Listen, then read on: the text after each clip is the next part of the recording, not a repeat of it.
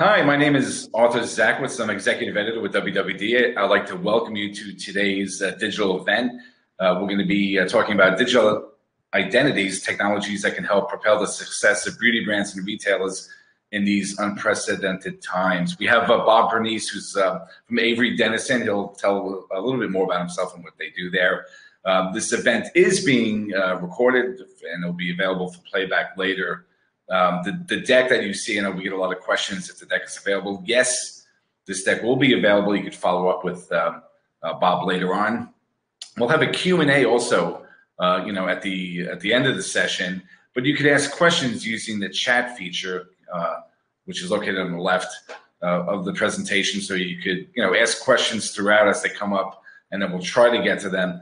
If we don't get to your question, well, uh, I'm sure Bob and his team will, will gladly follow up with you at the end. Uh, his contact information is uh, available then. We'll be having some polls also throughout the uh, the session. So um, you know, get ready to put your thinking cap on, and uh, we'll be polling some questions uh, your way. Uh, with that, I'd like to turn it over to Bob and welcome. Thank you. Thanks for coming on today. Thanks, Arthur, and thanks to WWD for having us. And welcome, everybody. We're um, happy that you're here. Um, just prior to the call, and this is usually bad luck, somebody tells you how many people have signed up for an event or how many have attended. But one of my colleagues did that nonetheless, and it reminded me of a, a story. My brother's a musician, and one of the first times that he played years ago, um, six people showed up to the show. And uh, fortunately, he was with a friend who was a veteran musician. And, and he said to him, um, How do I play to six people? And uh, his friend said, The same way you play to 10. So you know, I'm, we're glad you're all here. We hope that there's more than 10 people. We know there are, and uh, let's get at it. So a bit about Avery Dennison. Um, we are a global material science company specializing in the design and the manufacture of a wide variety of labeling and functional materials. And our intelligent labels business offers a suite of digital identity technologies that provide tracking and inventory solutions. They authenticate product history and they conjure up a richer consumer experience. Digital has long been important for beauty, um, and the most common applications are ones you're familiar with, with that help people make shopping decisions. But purchases are also transacted through digital e-com platforms. The compelling influence of uh, digital before COVID-19 has only been amplified by the pandemic. And the goal of this webinar is to introduce a new concept for digital, a unique item level digital identity that can drive retail and operational successes for beauty brands and retailers during and after COVID 19. So, as Art said, we're going to put you to work right away. Um, and Arthur, if you can introduce this and work through it, I'd appreciate it. Sure. So, uh, our first uh, question is How do you primarily use digital in your current role? Uh, A would be uh, for influencer outreach, and driving engagement on social. Uh, B is for inventory management and supply chain visibility. Uh, C is for virtual reality and augmented reality. D would be to create apps for consumers. And E would be to deliver against sustainability and traceability goals. That's a good one. And F is uh, to apply a digital identity to physical products. So I'm going to guess which one is going to be um, the most. Let's say let's say B. I don't know. What, what do you think? You're asking me? Yeah, B. I'm gonna guess B. I don't know. I'm just dude. I'm not gonna gainsay you. You you go with it. All right. So uh, as the polls are coming in, we'll uh, we'll see where everybody is, and they're coming in. We have um, oh um, for influencer outreach and driving engagement on social. Uh, we, we have about a third of the responses in so far, but that's trending as the number one so far. We'll, we'll, wait a little bit. Still number one. And uh, for inventory management, it's number two with about 19%, I guess. And then uh, to deliver against traceability and um, sustainability uh, goals um, is looking like it's third. So I think that said, I think we a couple uh, still coming in. We have we have about half people voting. Okay. So that's yeah. So I think um, right. So for influencer outreach, uh, it's about thirty six percent, followed by uh, 31% for to apply digital identity to physical products, and then for inventory management and supply chain visibility. So I was completely wrong. but um, you, yeah, made, you made a good attempt. I made a good try. Okay. Cool. Well, you know, the influencer outreach, um, it's not surprising. Most people think about uh, these types of things, as, as I mentioned earlier, um, to help people make purchasing decisions. So, um, moving ahead, I was uh, fortunate to attend an event in 2018 where Jean-Paul Agon, the uh, the CEO of L'Oreal, was interviewed, and I wrote down this quote as you see it. We announced in 2010 that it would be the year of digital at L'Oreal. We just didn't know what that meant. So uh, Monsieur Agon talked about this digital transformation in 2010, but even at that time with some uncertainty about what it meant. And speaking of uncertainty, um, you know, the, the, the, title of this presentation uh, refers to unprecedented times. I guess by definition, all times are unprecedented, but some are plagued by, by chaos and it creates deep uncertainty and even existential fear. And this is clearly one of those times, but we were struck by the hopefulness of uh, this cover of uh, the April issue of Italian Vogue April in Italy was one of the worst places in times for COVID 19.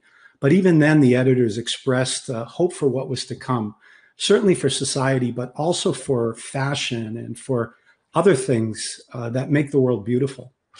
And I've always liked this quote by the philosopher Nietzsche, but I find it particularly resonant now. He said, You must have chaos within you to give birth to a dancing star and that that gives me hope during these times. Um, so does this. I also heard uh, uh, Wendy Liebman give a, a, a, talk earlier this year, and she made this exact quote: "The transforming power of a great lipstick." Means you can do anything anywhere at any time and apparently this is something that her mom told her so this really struck me lipstick makeup skincare and other beauty self-care routines they're empowering they're nurturing, enriching, uplifting, and they help people face chaos, even in uncertainty. And we're reminded that even during wartime, people buy lipstick.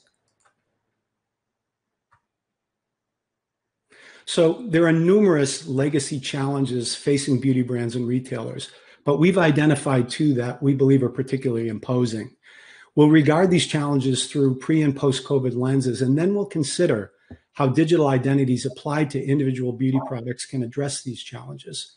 And the two challenges are seamless shopping, merging physical and digital retail worlds, and supply chain visibility, or the lack of end to end item level visibility. Beauty shopping includes discovery, testing, purchasing, and certain digital tools have become common and indeed indispensable for uh, shopping beauty. One is influencers. Um, and in fact, we saw from our poll results, people put high uh, recognition of digital and influence on digital and influencers. They, they drive purchasing habits through social media. It kills me that most of these people were not famous before, but now are wildly famous and indeed quite wealthy for uh, showing people how to use uh, products. Um, but the other is AR tools, try-on tools, uh, virtual reality like Ulta Beauty's Glam Lab or L'Oreal's ModiFace. These were popular before. But let's take a closer look at how beauty products are purchased. Um, we'll do this by comparing the beauty physical and digital fulfillment channels.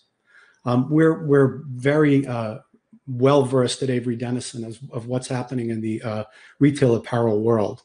So for apparel stores, sales were shrinking about 2.5% year over year for the past six or seven years. At the same time, though, digital sales, e-com sales were growing by 17%. That means every four plus year years, digital sales were doubling. And it was in a market that was only growing by about 0.3%. So just very, very modest, modest growth.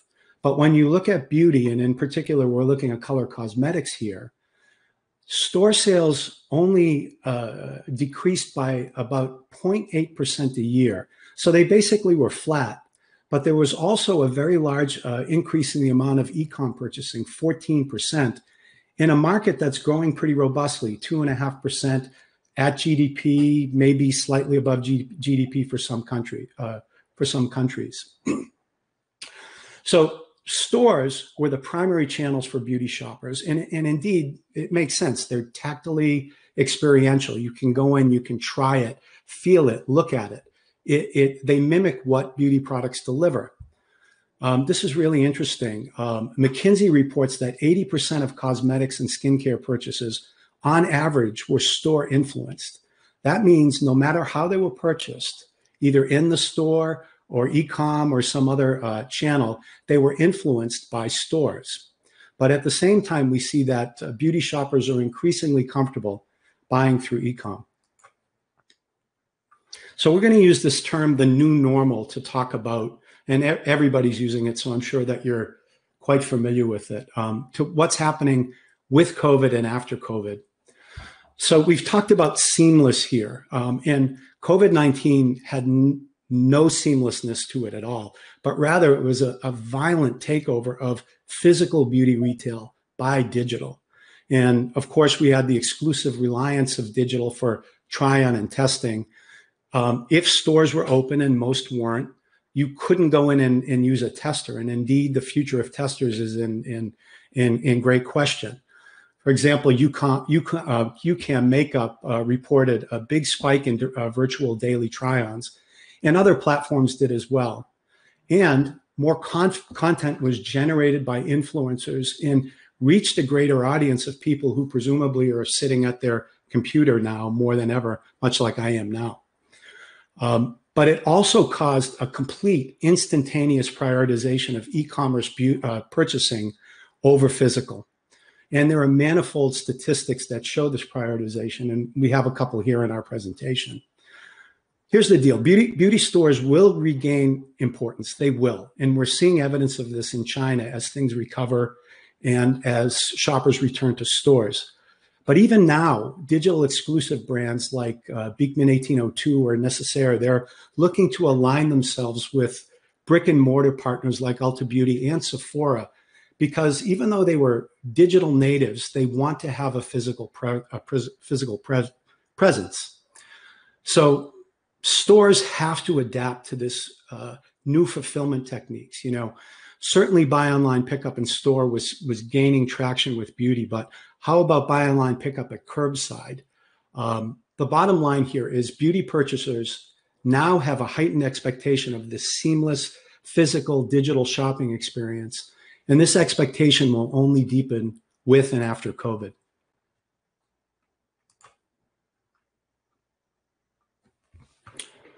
IHL reports that 1.8 trillion US dollars represents the value of the gross variance this is overstocks and understocks throughout the entire global retail supply chain. $1.8 trillion, which is roughly equivalent to the GDP of Canada. And this was before COVID 19. Now, we know from the work that we've done with beauty retailers that they are inventory accuracy challenged. Pre COVID 19, inventory distortions we saw on average were somewhere in the 50% range, sometimes a little better for retailers that did um, cycle counts of certain brands or areas, worse for others. Um, what that distortion means that if you do a physical inventory at the beginning of the year, which things normally are done, and you let the inventory distort over the course, or you let it run over the course of the year where purchases are made, receipts are brought in, in one year, that distortion means uh, how wrong you are before, you know, compared to what you actually have. So 50% means that you're wrong one out of two times uh, with what you believe you have and what you think, uh, what you actually have. The other thing that we've we've learned is, at least anecdotally, omnichannel beauty retailers they've struggled mightily to swap the physical inventories for the digital for the digital demand that that occurred with COVID. But even in less chaotic times, beauty retailers, they're going to continue to struggle in satisfying the appetite of shoppers for seamless and instantaneous omni-channel product availability if inventories aren't accurate.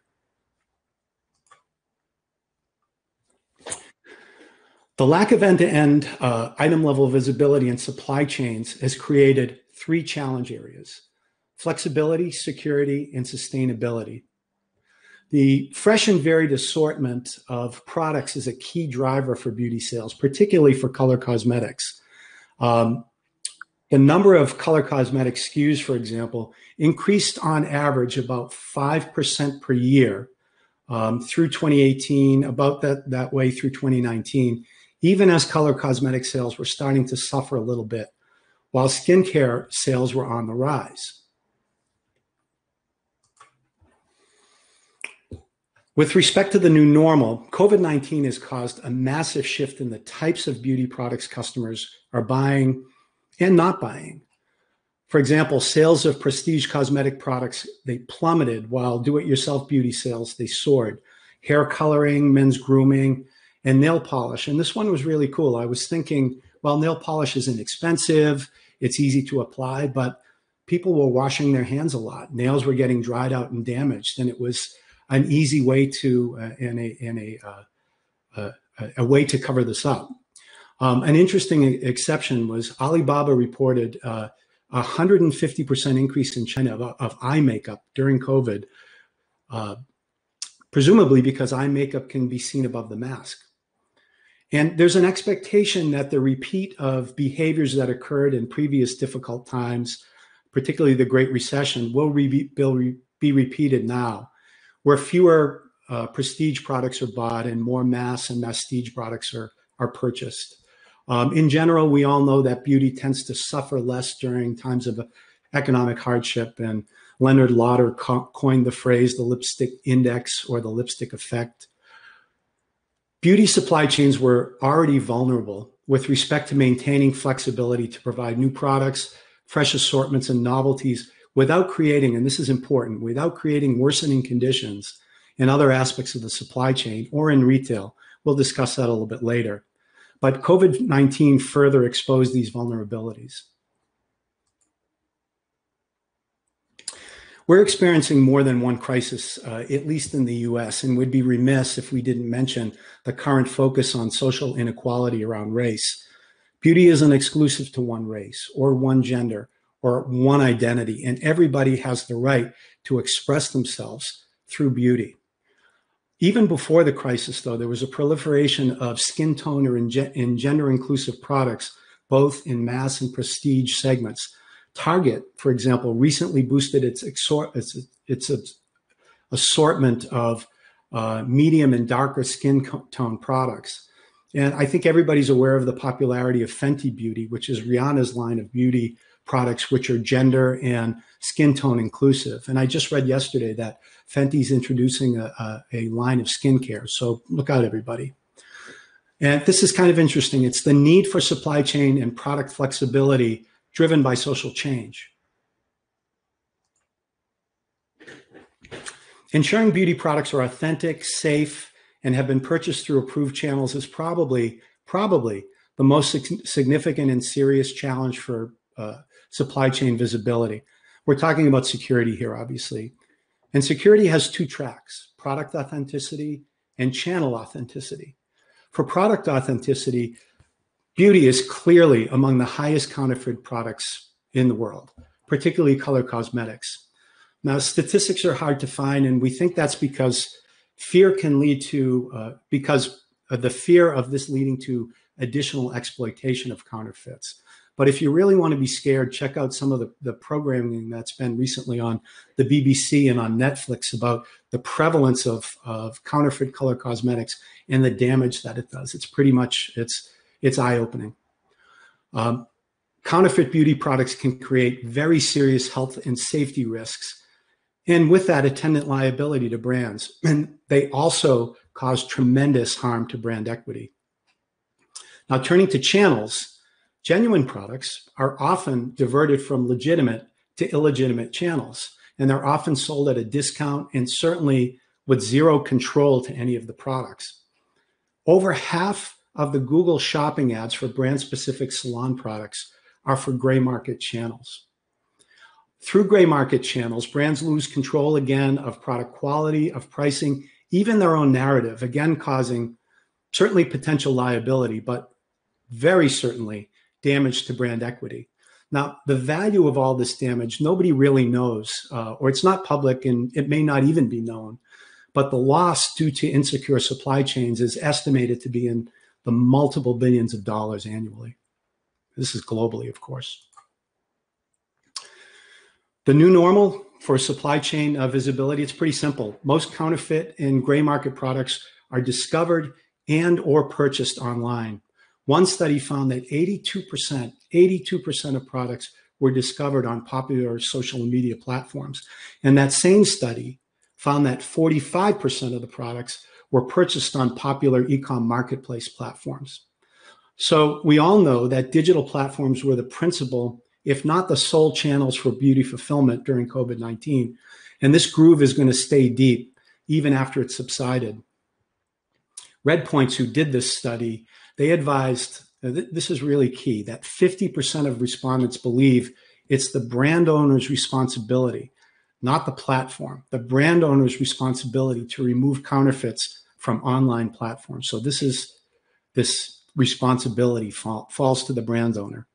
So it's safe to surmise that beauty brands and retailers, they're going to continue to suffer greater damage at the hands of counterfeit and gray market products sold over digital channels during and certainly after COVID. Now, assuming a product is authentic and purchased through an approved channel, are the ingredients harmful? Are they toxic? Clean beauty was important pre COVID 19, with statistics showing that clean being a primary purchasing criterion, regardless of demographic. Now, during COVID 19, self care regimes focused on health and wellness, but there was also a hypervigilance about safety. Not only is what's in my product safe, but also has it been handled safely? And there's evidence that there were increases in sales of clean beauty even during COVID, while general beauty sales suffered greatly. Sustainability is a top initiative for many beauty uh, brands and retailers, not only because they want to be good corporate citizens, but also because customers in the market are demanding it. Now, the standard unit for communicating environmental impact is metric ton equivalents of carbon dioxide. These are uh, greenhouse gas emissions. In 2018, the greenhouse gas emissions reported by L'Oreal and Unilever combined alone exceeded 25 million metric tons. Now, these contributions come from sourcing raw materials, manufacturing, distribution, disposal. And they're on a similar scale to what we see for the global fashion industry, which in general means it's significant. Now, it's important to point out that both L'Oreal and Unilever have ambitious and admirable goals for reduction of greenhouse gases in their environmental footprint. But another thing to consider is that enormous quantities of plastic are attributable, attributable to beauty packaging, Cosmetics, uh, color cosmetics primarily, typically those packages, primary packages, aren't recyclable. And if they are, they often aren't. Overproduction in the resulting inventory glut uh, in beauty is a legacy problem, particularly for color cosmetics, where high SKU counts deliver variety, variety delivers sales but the velocity of these products is slow. So it tends to lead to overstocking in waste of either expired products or products that are simply out of novelty or, or season. Um, many of you likely have seen the TikTok video where uh, an employee was showing the destruction of returned products. Now, uh, at a particular retail. Now, um, in fairness, this is products that were returned uh, for the most part that were already open. And of course, those need to be destroyed from a safety standpoint. But you may also remember the chagrin that one high end luxury beauty retailer received when they actually published how much product in their annual report they destroyed, primarily for brand protection. These were products that were returned to, to, to the vendor and they were destroyed so that they didn't end up in the supply chain. It's simple if your brand isn't prioritizing sustainability, then you're in danger of disappointing a significant number of your existing and potential customers. We did an estimate using publicly available information and industry accepted practices of the annual uh, greenhouse gas impact of overproducing by 5%, just 5%, a single popular shade of one lipstick brand. What we found out is the CO2 and the equivalent CO2 emissions equaled that of 223 passenger cars delivered for a year. That's a small neighborhood of cars driven for, for a year. And that would require a forest almost the, twice the size of Central Park to sequester or absorb that carbon dioxide. And what's really interesting about lipstick is that this particular formula, and indeed most formulas for lipstick, they don't contain palm oil, the harvesting and processing of which extracts an enormous toll on the carbon economy. I think that this quote by Alex Keith, the uh, Procter & Gamble uh, beauty CEO, nicely summarizes this heightened need for a sustainable beauty world post COVID-19, but it also provides some hope around the prospects of how quickly and effectively we can transform this world.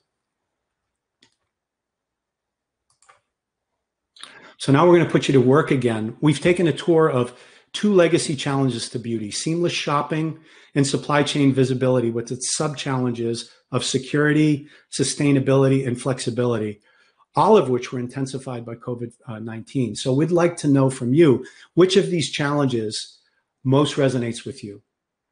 So, so the um, A uh, would be merging physical and digital worlds. Uh, choice B is connecting ecom and physical retail channels. Uh, C is excess inventory. D is waste and throwing away expired stock. Uh, e is counterfeiting and gray market diversion. And F is supply chain visibility. So please, please vote. And as the votes are coming in, uh, yeah, I just want to say that that was a remarkable amount of uh, the, the data, uh, eye-opening data. Uh, Bob, thank you for, for sharing that.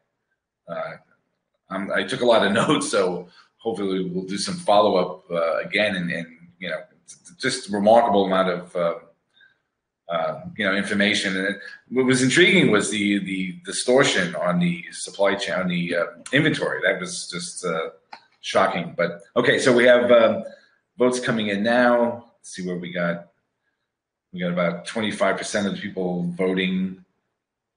Um, we'll see how. Wait till it gets to, to be about 40%, and then we'll, we'll start uh, seeing which is number one.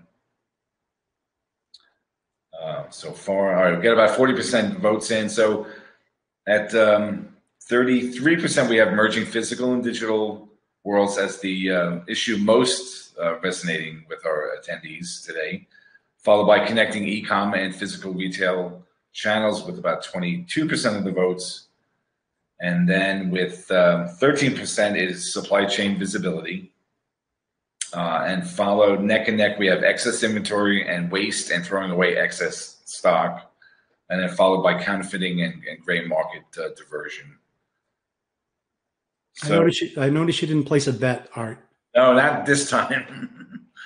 uh, but, you know, what's interesting, I think that's interesting. It's the, uh, you know, merging the di digital convergence. Uh, you know, we, we, talk about this all the time, but, it, you know, putting into practice uh, and making sure that you know your inventory is, is managed well. It's it's not uh, you know it's it's it's hard. It's a challenge, right? Yeah, it is. Well, we're going to talk about that in a minute. But for for the moment, let's return to uh, Monsieur Agon. And recall what he said in 2010 about digital and its meaning. He said, This was the year of digital for us at L'Oreal. We just didn't know what it meant. This is what he said in April of this year. The current crisis has led to a strong acceleration of the digital transformation. So it's clear that Monsieur Agon's digital uh, uh, view of digital and its transformative power uh, have become crystallized.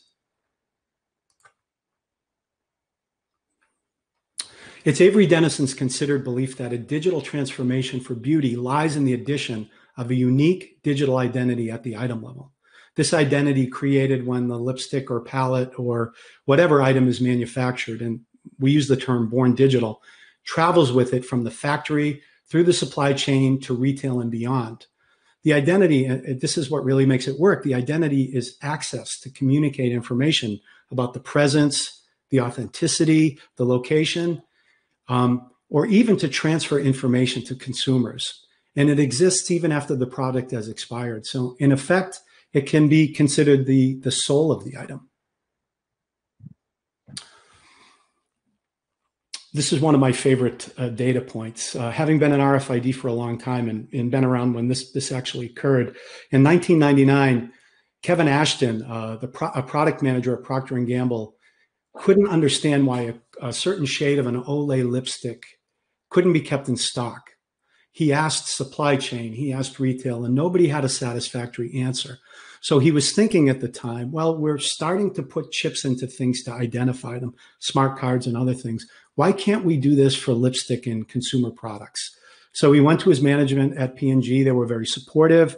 In his subsequent um, queries and partnerships with academia, um, other companies, other institutions, it led to the very standards that exist today around uh, a digital identity RFID that's widely being adopted by uh, to improve inventory accuracy by apparel retailers and brands like Target and Macy's and Decathlon, H&M, Fast Retailing, Adidas.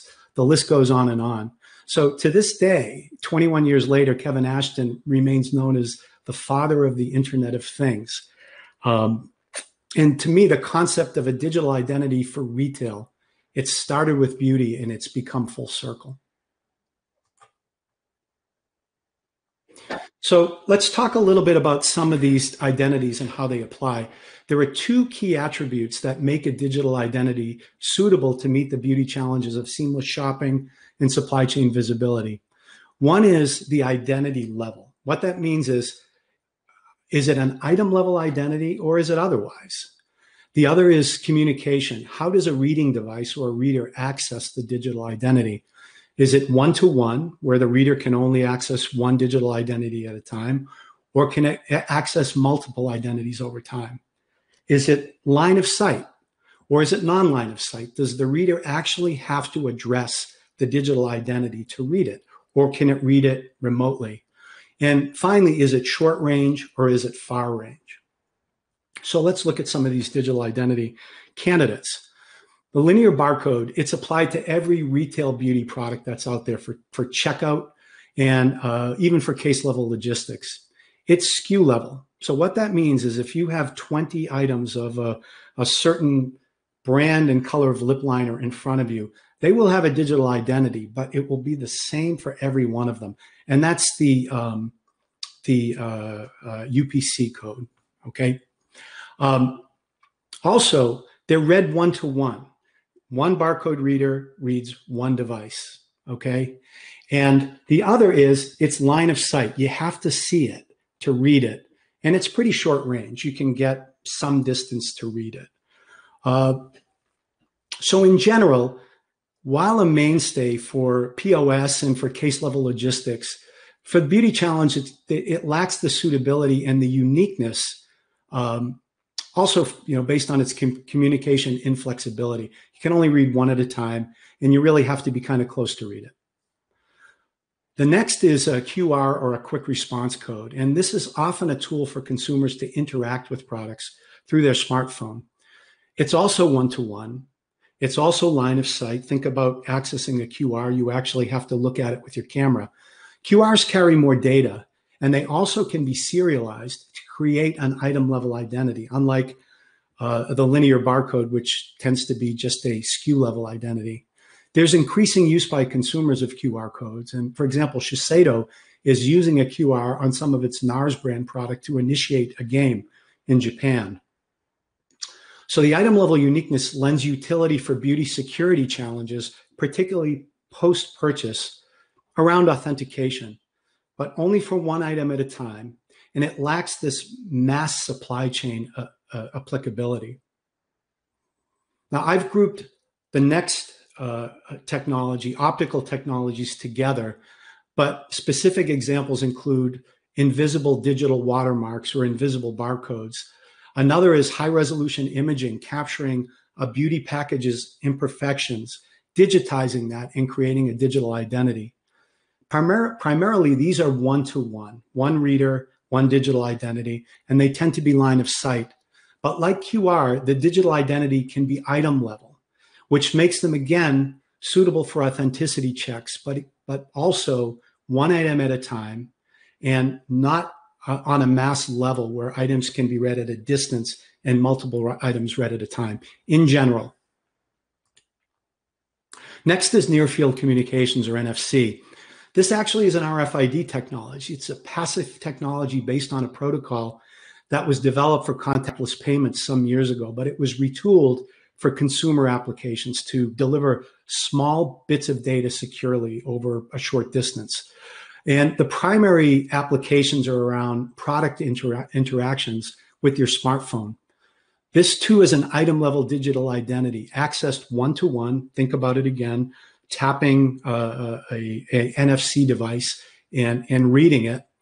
And um, it's a slight improvement over the other technologies because it's not really line of sight because it's a radio frequency uh, uh, technology, but it only offers proximity read from a few centimeters, and it's designed to be that way.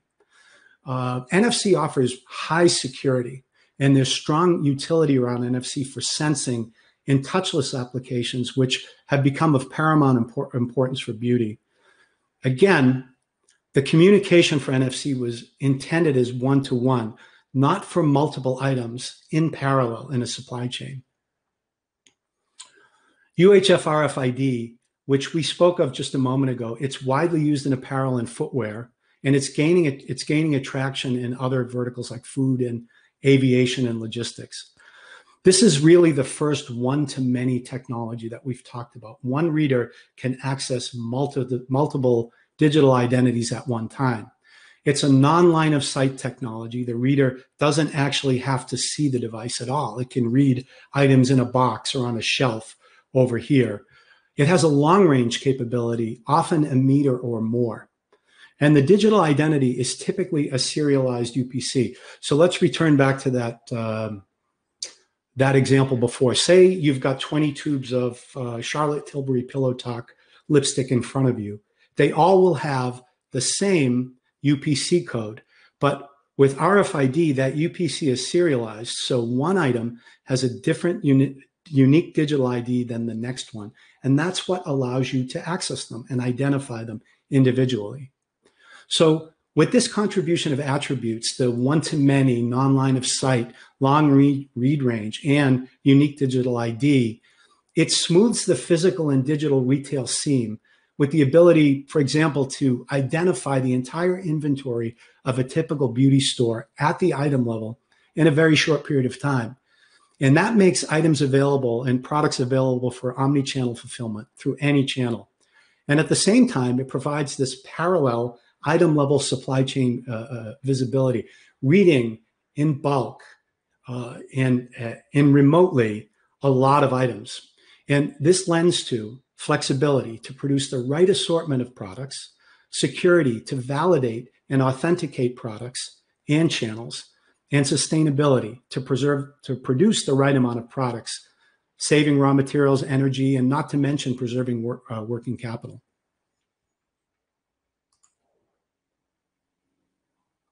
We have some case studies of digital identities that we want to share with you they're not all related to beauty, but we hope that they're all interesting and, and illustrative.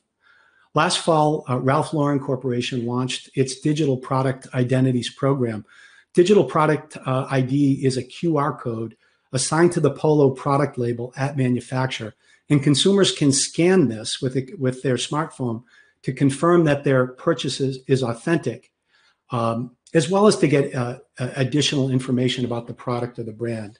And there's also some digital product, uh, also some uh, supply chain insights that can be supplied by this particular digital identity.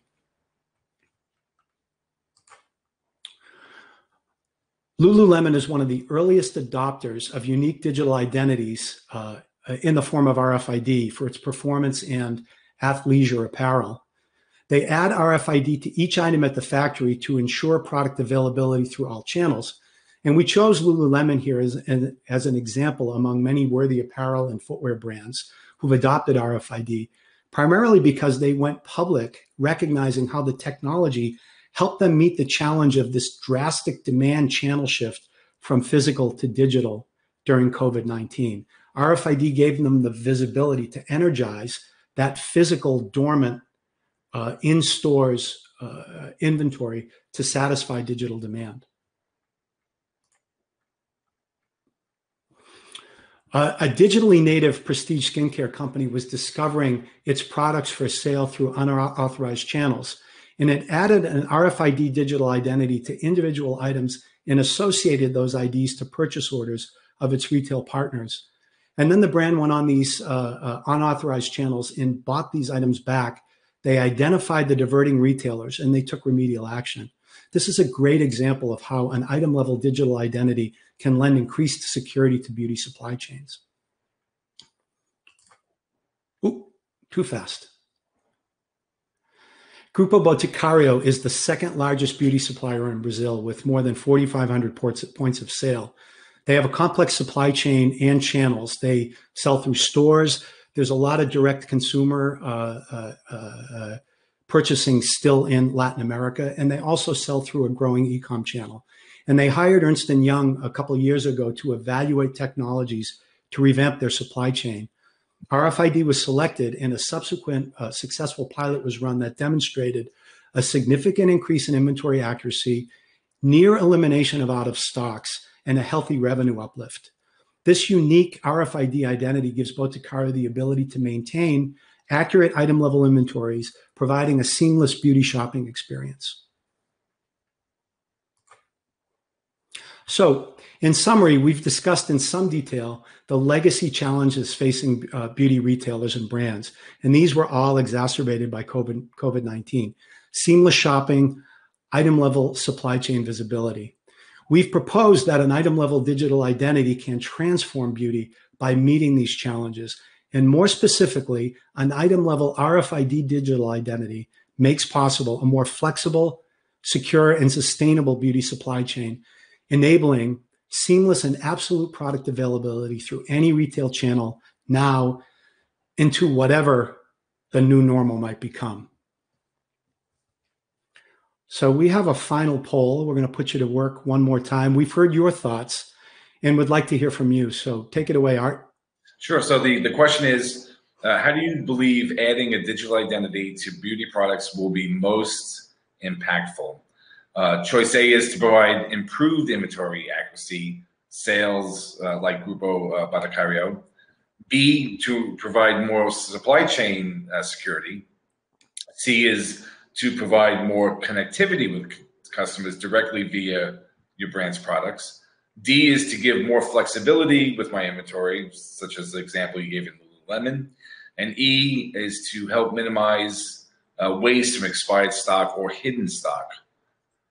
So if you would vote. Also, um, if you have any questions, we're gonna we're gonna hit the Q and A uh, session uh, portion of the of today's session. So just please just drop your questions into the uh, chat chat feature right there. And as we're getting responses back, the um, this is actually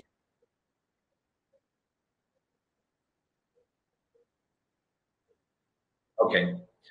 So we, we have we have about let's see here, about 23% reporting so far. Looks like um, coming in number one is to provide connectivity with my customers directly via my products.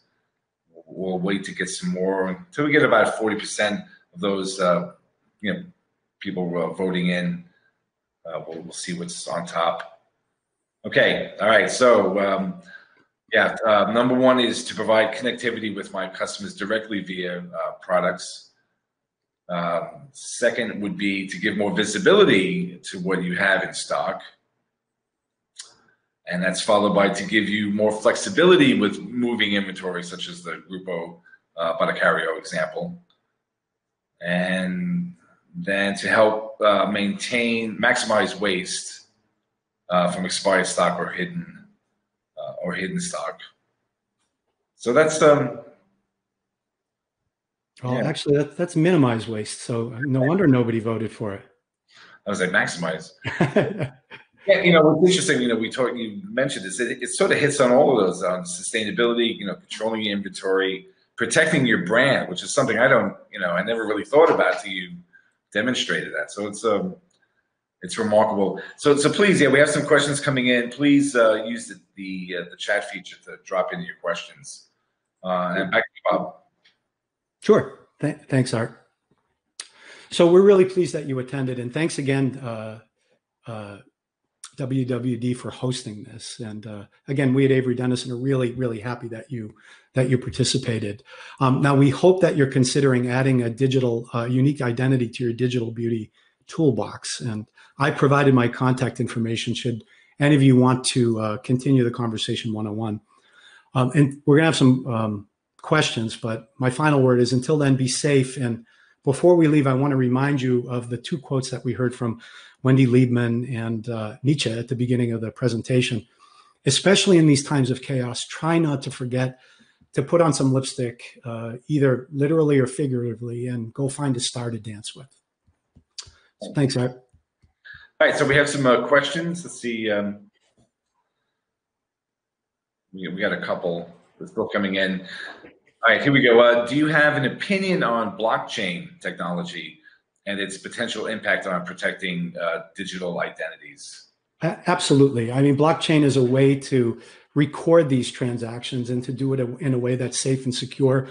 Blockchain will play an, a very important role in in in uh, securing uh, providing access to these digital identities, not only in, in, in beauty, but also in food and, and, and other verticals.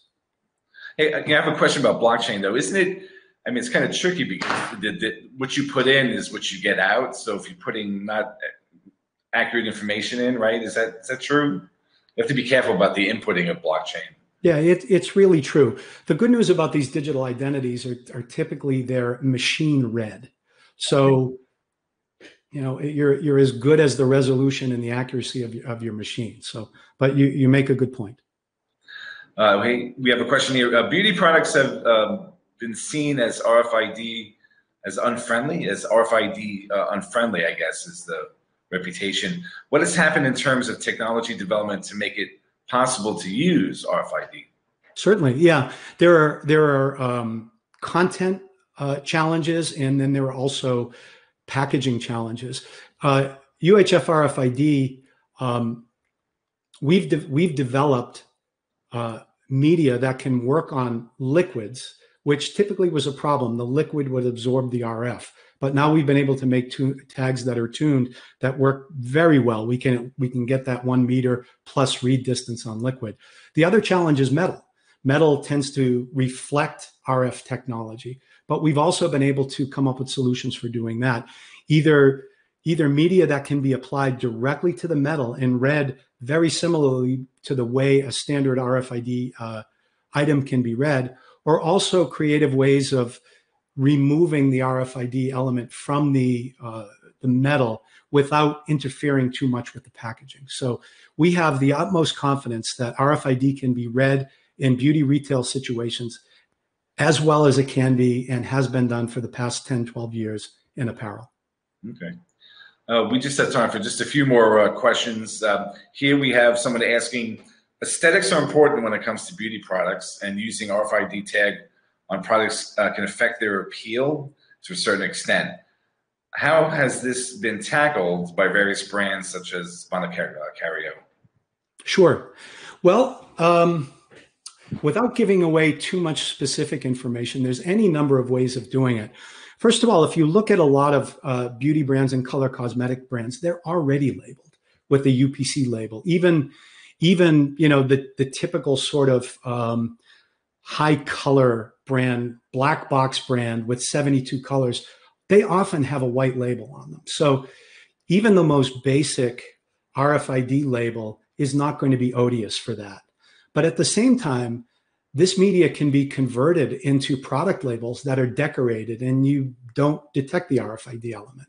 There's also the possibility of putting the RFID element in the primary package, even in the inside of the box, so that it's not seen by the outside, but it, it, it, can be accessed. There's a number of ways of doing this.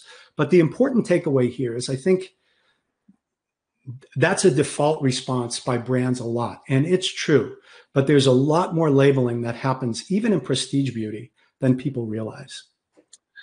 We, uh, I'm we're running out of time, and I want to be respectful. Um, but I, am going to ask one more question uh, today, and then if you, if you know, if we don't get to your question, please follow up. Uh, also, the, the deck is available. You follow up with uh, uh with Bob. Uh, and before I turn it over um, for Bob for a final thought, one last question: How do you see um, the stores, the physical stores, changing in a post-COVID world? What, what's that going to look like? I I don't know. I th- well, I think it will look a lot like it does now, but a lot of the hands-on operations will not be there. There won't be physical testers. Um, how how beauty consultants interact with their their customers are going to have to change as well. Can that be done as a, at a distance? Perhaps, but I think the drive to visit stores is certainly going to overtake that, and the ability to think about this and innovate by brands and stores is going to fix this. So I would say once we get to a point where we've dealt with this pandemic in a way that makes people comfortable visiting stores, I think it's going to look a lot like what it does now, but with more technology and more more digital presence. Um, I don't have any more questions. And what, what is your contact information again? Can you share that? And sure, I think it's on one of the previous slides, but it's it's uh, robert.pernice at averydennison.com. Yeah, let, us see if we. Shall I find it? Oh, there we go. You got it? There you go. Right there. Robert.pernice at averydennison, one word.com. Correct. All right. Uh, thank you so much for attending today. And I'm, I'm going to, um, I, I, hope everybody stays well. Um, Bob, can you just give us uh, some final thoughts? Uh, stay healthy, buy beauty, feel good about yourself, and we'll all get through this. Thanks. Thank you.